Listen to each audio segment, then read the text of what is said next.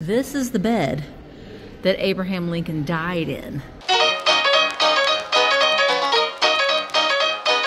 I'm just a girl, a wonderful girl. Hello, everybody, and welcome back to my channel. Today I'm in Chicago, Illinois, and I'm at the Chicago History Museum. I have never been here before. I mean, I've been to Chicago before, and I'm surprised that I've never been here before because when I like when I go to places, I like to um, learn about the history, and this place is just chock full of Chicago's history. So let's go in and let's learn learn a little bit more about Chicago. So right outside the museum before you get inside there is this big I thought it was like a big hunk of coal which I mean it's not far from it so apparently this was a molten mass that was left over from the Chicago fire of 1871 and it was discovered um, when they were digging a foundation for a new building where a hardware and cutlery store once stood and it said that the fire's intense heat melted parts in the store to form this giant mass which weighs about 13,000 pounds. So this is a relic of just molten metals and things that were in that hardware store um, and they dug it out when they were when they were um, you know rebuilding. So I just wonder if like if you cut into this if you could see like forks and because it was a cutlery store but that's pretty neat really if you think about it. This is all just relics from the Great Chicago Fire. Wow. Mark just pointed out you can see like th this looks like some sort of like a a box of some sort It says you can see nails and screws in here too. It's just amazing. This probably right here looks like it might have been a nail head. That is just really, really cool. I don't know. I just really like things like this. Pretty amazing.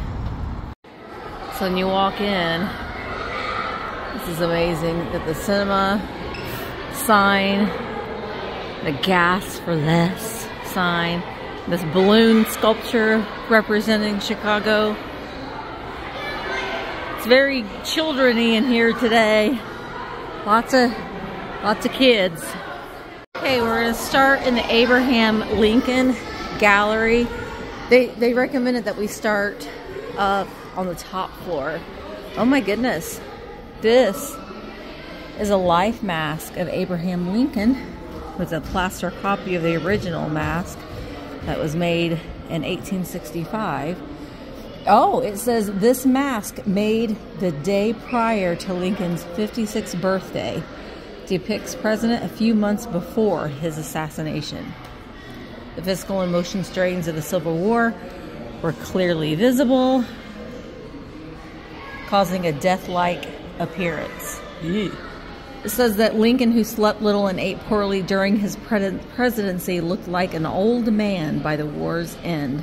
They've got a flag we mourn our country's loss, but this bed, this is the bed. This is the bed that Abraham Lincoln died in. This bed right here, which was across the street from the theater. Many years after the assassination, Mr. Peterson sells Lincoln's deathbed to a private citizen who in turn sells it to another guy who's a collector of historical memorabilia. That is amazing. So he was shot and killed um, in 1865 and he's carried across the street to the Peterson house. He's taken to a small back room and placed upon this bed. He's six foot four and he doesn't fit, so he was placed at an angle. Throughout the night, dozens of people came to visit the dying president. Wow, that is unreal. That that is the bed that he died in. That's incredible. Kind of amazing here. This was a watch that was given to Abraham Lincoln in 1861. When Abraham Lincoln was running for president, he was obviously very much against slavery and used that as part of his campaign. You can see this is a torch with axes Um, that was a campaign torch and axes in 1860. So it's just really interesting that they all these artifacts that are in here. The Council of War 1867 is a sculptor right here. And then here is the Proclamation of Emancipation that was printed in 1864 right here. That is pretty amazing. Wow. And this is the 13th Amendment, the ceremonial copy from 1865. It abolishes slavery, slavery in America after it passes Congress. Uh, Lincoln signs several ceremonial copies, this being one of the ceremonial copies that he had signed. You can see his name right up there. Like, right there. Amazing. Just come to see the dying president. Early the next morning, after Lincoln's death, Secretary of War Stanton proclaims, Now he belongs to the ages.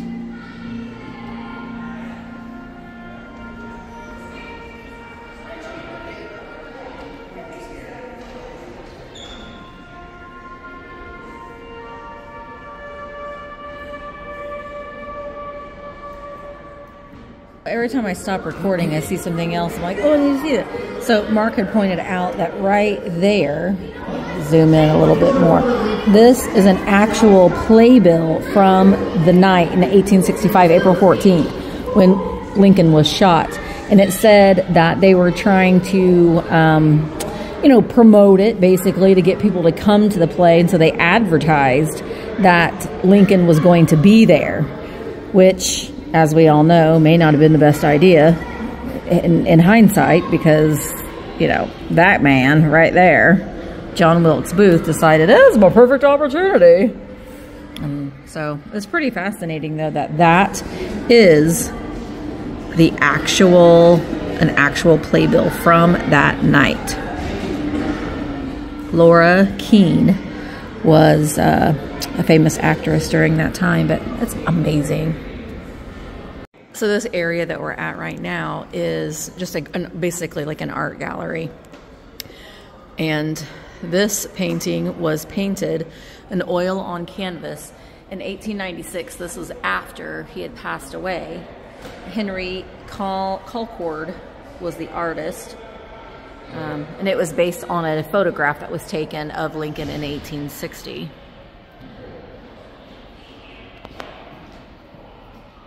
So going in this room next, you can see they do have a lot of like old advertisements and things like that on the walls, which is really neat.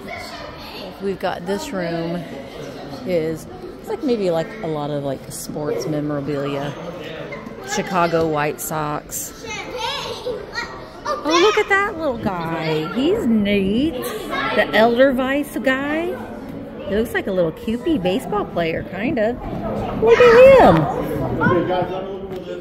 There's shoeless Joe Jackson, who's in the scandal of being accused of throwing the game. He was banned. Well, it says Jackson and seven other players were indicted for throwing the series. Although a Chicago jury acquitted them, baseball commissioner Kenesaw Landis banned all eight men from baseball for life. Wow. We also got the Bears. Mark just pointed out, look at the football. It's a lot around, it's a lot different now than what it was then. And then we've got the Chicago Bulls. Oh gosh, the 97 98 Chicago Bulls team. That would be no problem. So this is Scottie Pippen. Scottie Pippen's jersey. And then we've got the Blackhawks. We have to represent. Whose shoes are these? Dennis Rodman shoes. During 1997 postseason. Haven't heard much from Dennis Rodman lately, have you? Wonder what he's up to nowadays. The Super Bowl Shuffle. Oh, Man, that was awesome. Ed, Ed McMahon. I had a huge crush on him. Uh, And look, right there. There's Dennis Rodman sitting right next to Michael Jordan.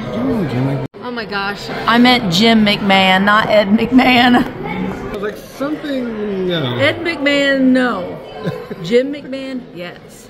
So here's the display about the Century of Progress, which was the World's Fair in 1933, 1934, and it happened during the Depression. So they didn't, they couldn't get their the government funding and stuff. So it was a lot of private citizen funding the World's Fair. And I didn't realize that the state fair it was it lasted for two years. When you think of it, you just think ah, it's just like maybe a week long. No, it was two years long. So they came up with this Art Deco design which is like the Art Deco design. The final product was a rainbow city stretching across three miles of Chicago's lakefront.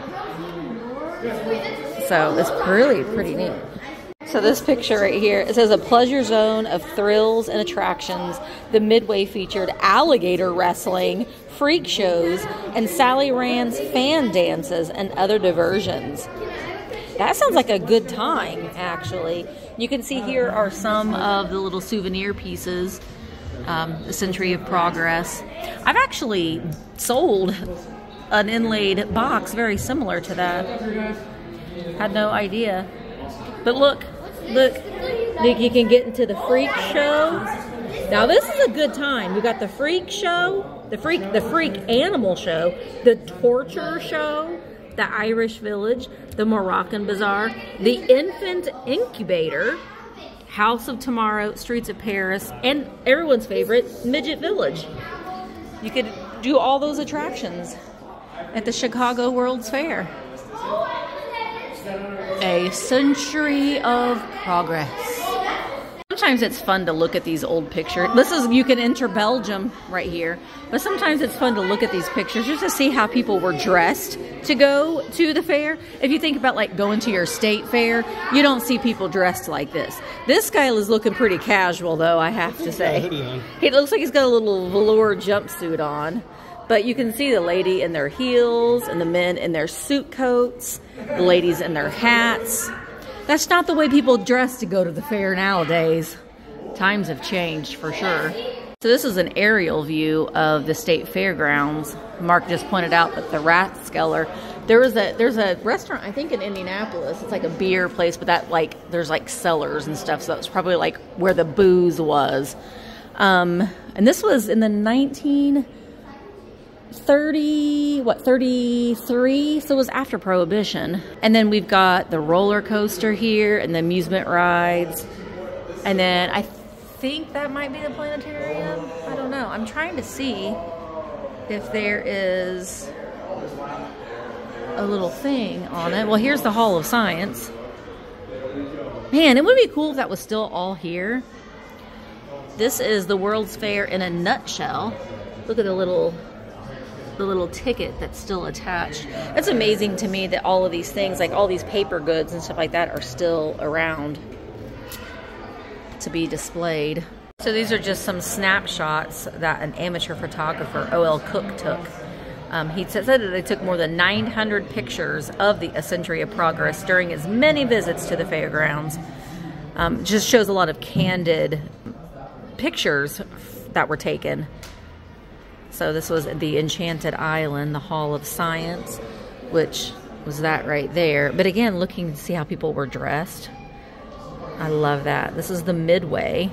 So there was these skyliners too, almost like a little ski lift. So this area right here talks about designing of the fair and this was Bertha Palmer. And if you've heard of like I, I believe I haven't read that part yet, but I think the Palmer House Hotel, she probably that's maybe was her family. But she was um, she had a lot of social influence. Um, to lobby for women's representation at the fair. Uh, so she was elected president of the board of lady managers, and she helped plan the women's building. And, and their goal was to present a complete picture of the social condition of women. But this little sterling silver medal was gifted to her in 1893, and it was created by Tiffany and Company. And you can see isn't that cool? It's got rubies in it. I mean, and even the little case that it came in is pretty neat as well. But You go, Bertha. You represent us women. Well, and I, I need to correct myself. When I was talking about Bertha planning the fair, she was actually helping to plan the World's Columbian Exposition in 1893. Became the crossroads of the world, attracting a lot of a lot of visitors, including nearly 14 million foreigners. Um, it was a stunning setting of white neoclassical buildings, lagoons, basins, and canals. The fair represented American products, innovations, culture, achievements as a testimony to this country's social, economic, and um, technologically a technological progress. Quite the feat, though, too. But you know, people of color were vastly underrepresented. And this Ida B. Wells in 19 or in 1892, she came to to protest and um, kind of stand up for the people of color who were non-represented in this in this uh, the Columbian Fair relatives attendance like, at the fair has the been very poor all along. And the colored brother has been especially conspicuous um, by his I absence. saw it in a picture. This colored folks' day is to be an extra inducement to have him come. Here in such numbers is a vindication of our wisdom and of our good nature. I am glad that we have cheerfully embraced this occasion to show by our spirit, song, speech, and enthusiasm that we are neither ashamed of our cause nor of our company. It is known to many of you that there is a division of opinion among intelligent colored citizens as to the wisdom of accepting a colored people day at the fair. This so one thing that Frederick Douglass did, he um, he made a speech at the Colored American Day in August on August 25th, 1893. Um, so, you know, they wanted to make sure that their voices were heard, and what what an amazing and scary thing for these these people to do, and I have such admiration um, for their willingness to stand up and fight for their rights. So they should be honored much more than they are today, for sure. Here's a little fun fact. Um, this was a program from Buffalo Bills in the Rough Riders. He did his show at the fairgrounds. Um, he rented a pavilion just outside of the main entrance for his show. But we can see Frank L. Frank Baum. Um, this is like this is a anniversary, 100th anniversary edition um, from the year 2000, and he actually visited the Columbian World Columbian Exposition, and it, the Emerald City is like a take of the the White City that was represented in the World Columbian Exposition. You know, we had some the shoreline. You know, Chicago has a lot of shoreline. Lake Michigan. Look at this men's bathing suit. That's a snazzy little number. It says it was blue knitted wool. Wool. Look at the little cutouts there. That's pretty snazzy. So then White City, the amusement park, opened in Chicago's South Side in 1905 and became a beacon of wholesome entertainment for middle class families. It was named after the World's Columbian Exposition, which we just talked about over there. It's a place where people could, you know, escape real life for a while.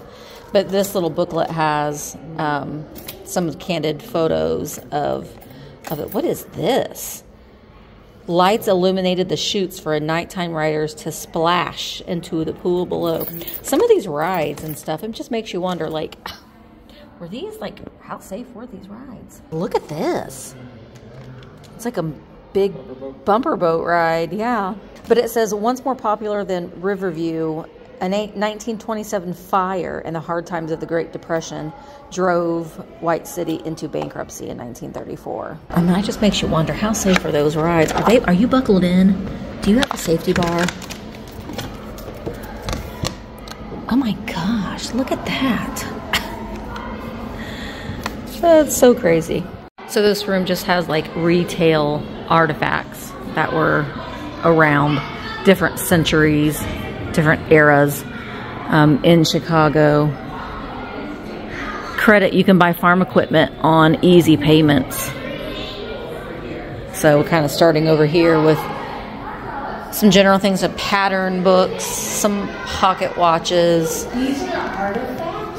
mail order items, that telephone, the clock, the sewing machine, the lamps, the gramophone. Look at the typewriter from good old Montgomery Ward's, Sears and Roebuck.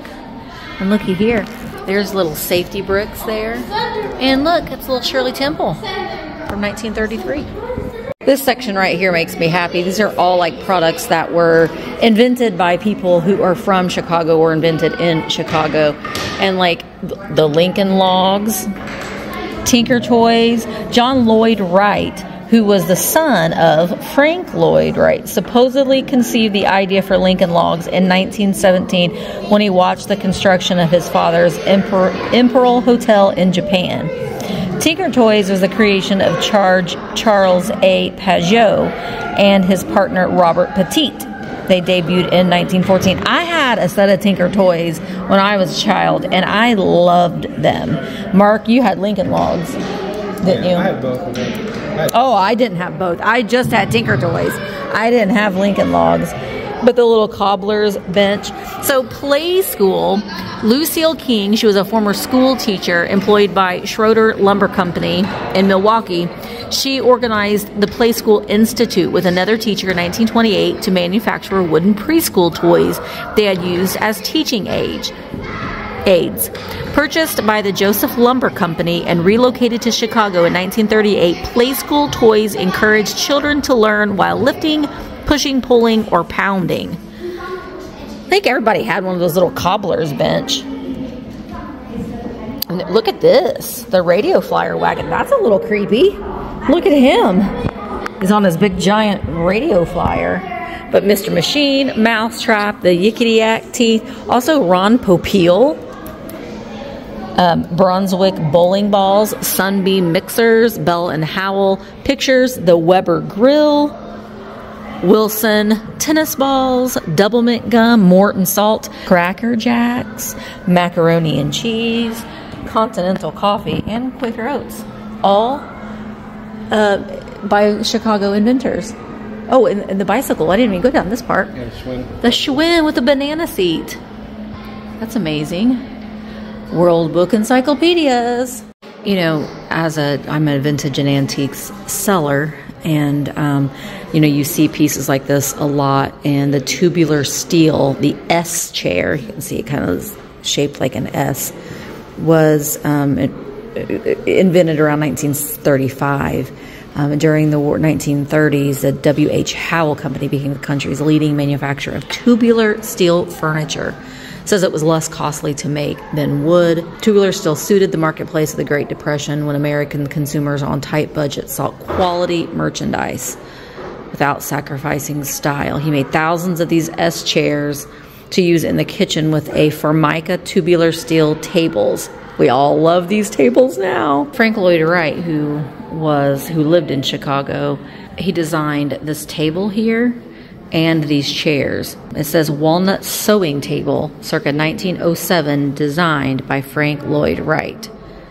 That is really, really amazing. He had a very, he was very much ahead of his time with this Art Deco feel. Wright designed the table for the Avery Coonley House in Riverside, Illinois. One of Wright's more ambitious projects, the house had separate wings filled with furniture designed by the architect. This just interests me a lot just because it has to do with school and education. But the Edward Worst um, educator, he was an educator and craftsman, he actually believed teaching children skills that they could use in life. He believed that instruction in areas of production such as textile weaving and pottery making would teach children skills beyond the task that they were completing. He developed a manual arts curriculum that rela- related handiwork to nature study, math, and literature, and doing so changed the way students were taught in Chicago public schools. Um, almost like the grandfather of like a vocational type school setting. Um, and why not teach children skills that they could actually use in life. Later on in life. And the Hull House artisans, now the Hull House settlement houses acted as agents of change for the people that they served. They also created new female dominated institutions where women gained knowledge and expertise that they used to shape public policy. So the, um, they worked at the Hull House and they lobbied for reforms in the neighborhoods like playgrounds, sanitation, um, libraries, housing, the, the monitoring this, this, the child labor laws. So, and it said that the Illinois Juvenile Court Act and Illinois Mother's Pension Law, two important progressive era reforms passed with the help of Hull House residents. You can see these ceramics and metalworking classes were among the many of activities offered at the Hull House Art School. And these are some of the pottery pieces that were that were made there. It's just really pretty cool. Pottery from the Hull House, and we've got some copper work over here as well. But and you can see these. Jane Addams pioneered the American settlement house movement. Jane Addams, along with Ellen Gates Starr, opened Hull House, a new immigrant neighborhood in the, near West Side. Look at these little boys! Aren't they so cute? This was around 1900 when this photograph was taken. But the Hull House provided social services for the urban poor and hosted meetings of ethnic clubs and la labor organizations. Um, so I just think that, you know, and it, it really shaped these these children who, you know, they gave them skills. And she fought for improved working conditions, uh, maternal and child health care unions, and child welfare. So we're going in this little room with Chicago jazz and blues. You can see the High Chaparral in person, B.B. King with coming attraction Ray Charles, Duke Ellington, and then says Chicago once reigned as the capital of American film and television. Chicago dominated the American film industry in about the turn of the century, but then you know they the, the they all the studios decided to all move to California where the weather was nice all year. Um, but during the 1940s, Chicago became America's television town. So you can see, we're going to see, I think, some exhibitions in here of some of the, like the Bozo show and that sort of thing that were all filmed in Chicago. A lot of silent films were done here in Chicago. I remember this puppet, Madam. I don't know why I do, because this is way before my time. But this is Madam Ophelia, Ophelia Ooglepuss. She's from 1955. Fran, Kula, Fran, and Ollie. I don't know why, but that is like the things that nightmare. She's she's like a, a pre Lady Elaine. And, and you may have seen it on like WGN. Maybe. When they're like going Look at her, Lady Elaine Fairchild. That's who she reminds me of. Oh wow, there's Kukla and Ollie drawings. So this is pretty spectacular. This is a restoration of L Elcar number one. Number one. Right here it is. So you think of Chicago, you think of the L, the elevated train line. L Elcar 1 once transported people from the Loop to the 1893 World's Columbian Exposition in Jackson Park. This long term loan from the CTA was installed in 2006. Tens of thousands of visitors has hopped on board to enjoy this iconic piece of Chicago history. That is amazing. Boy, look at like all the detail on the windows and stuff too. Oh, maybe we can't go inside. We can just look inside. We can just look inside. They've got like this weaved. Let's see if I can zoom in so you can see the back. It's like all weaved.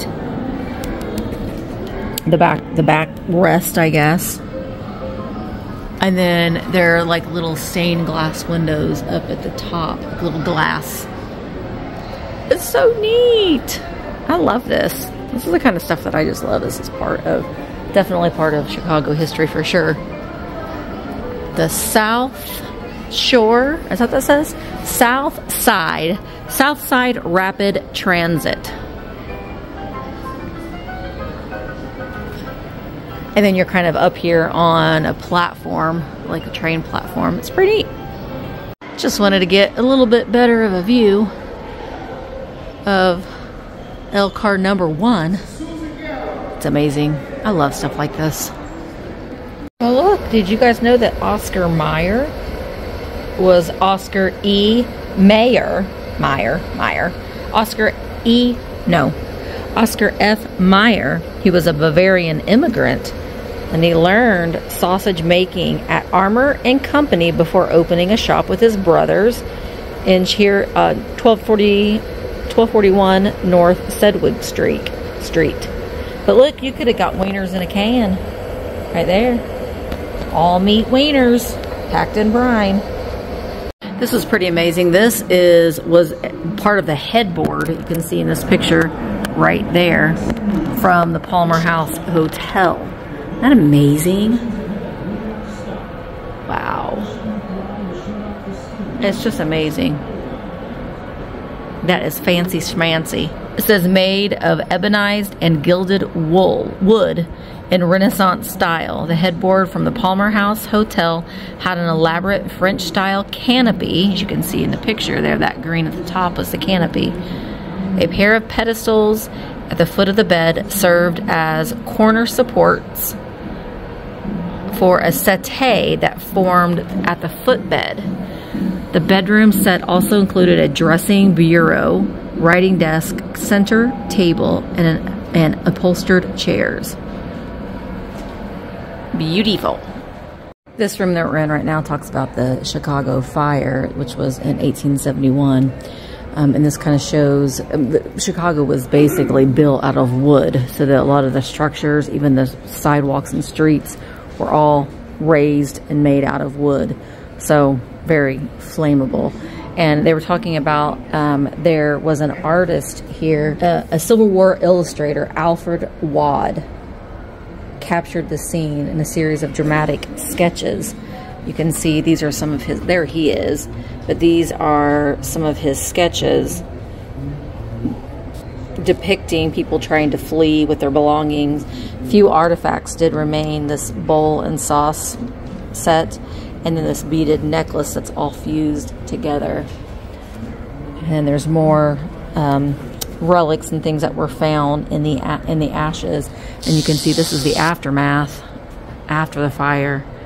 And they had to, you know, basically rebuild everything, but there's a little baby doll with no head. These damaged everyday objects found in the aftermath of the fire are a sobering reminder of the number of children and families who suffered terrible losses. They said over 100,000 people lost their homes. Over 300 people died in the fire. So it was um, quite the tragedy for sure. It just kind of fascinates me. Just goes to show you the resilience of people that, you know, everything can be destroyed and then they, they rebuild. It's pretty amazing.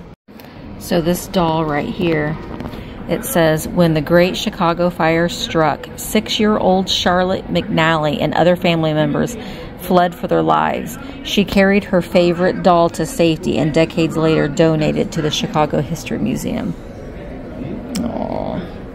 And this is saying that soon after the mayor, Roswell B. Mason, and members of the Common Council assembled the first congregational church, they immediately passed an ordinance banning the sale of liquor and established a temporary relief committee to provide food, clothing, and shelter to fire victims. They also enlisted ordinary citizens for police duty, fixed the price of bread to prevent gouging, and asked residents to avoid using kerosene lanterns. You can see right here, this is a map of Chicago, and all of the thing that's red, that's all of Chicago that had suffered from the fire. That is quite amazing. So this is a model of the water tower that still stands here in Chicago, and this is one of the few buildings that survived the fire, and it was like um, surrounded by flames, but was built from Indiana limestone.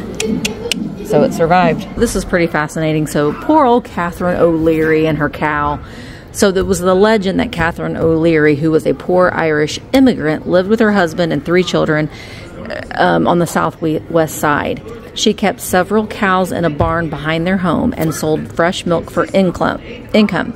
Although the fire started near or in their barn, an investigation by the Chicago police and fire commissioners they couldn't determine the exact cause. But she was she became the scapegoat. You can see there she is, and all of her cows in her barn. There's the the bucket getting knocked over, but the blame lingered for more than a century. And in 1997 the fire was in 18 what? 1871. 1990 the fire was in 1871. In 1997 she was she was formally absolved from any guilt related to the fire. So that's all a myth. Poor old Catherine O'Leary and her cow got blamed for it all. Probably because to her, due to her uh, social and economic status, she became an easy scapegoat. But 1997, she was finally cleared, well beyond her death. Looky here, this is an actual painting by Norman Rockwell, and it is it is entitled Mrs. Catherine O'Leary Milking Daisy. Uh, so Mrs. Catherine O'Leary, who did not start the fire, she didn't start the fire. Yep, there's a lamp. Move it. The cow's like, it wasn't me, I swear. Pretty amazing. And then here's another Rock, Norman Rockwell, the clock mender. This, these were both done in 1940. But I love Norman Rockwell. Pretty neat. She didn't start the fire, nor did her cow. And here we've got the Gangland Chicago, which is what Chicago's pretty notorious for knowing. This is the remnants of the St. Valentine's Day massacre but it's all stems from bootlegging and prohibition and all that sort of thing. But the quote at the top of this display everybody calls me a racketeer. I call myself a businessman. When I sell liquor, it's bootlegging. When my patrons serve it on a silver tray on Lakeshore Drive, it's hospitality. And that's pretty true. It was not far from the truth, but so yeah.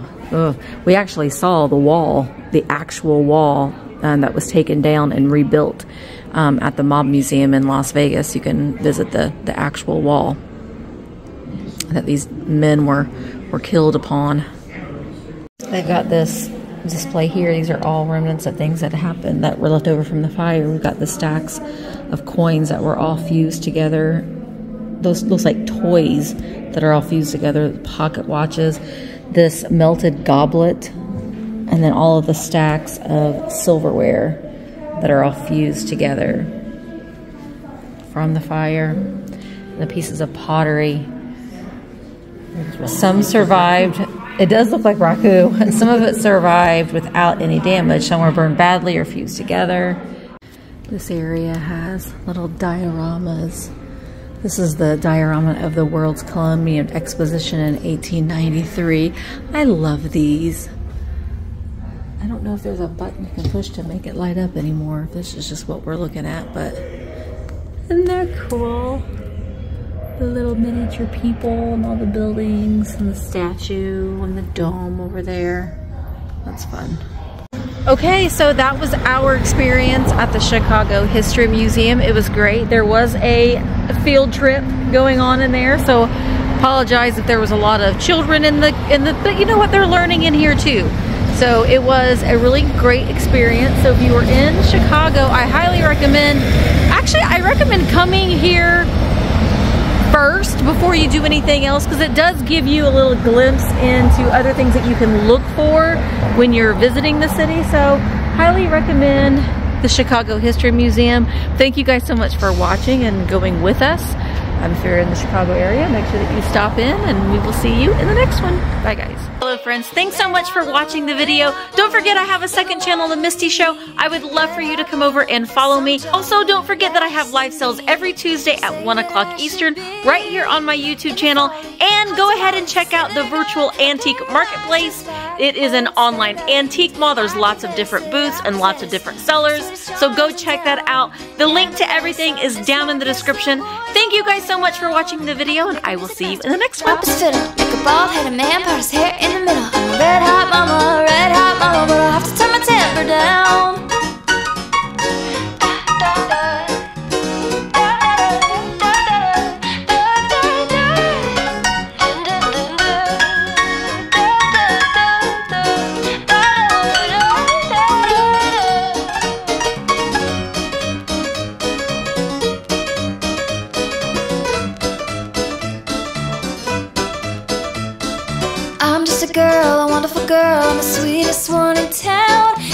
Search miles around, and no one like me can be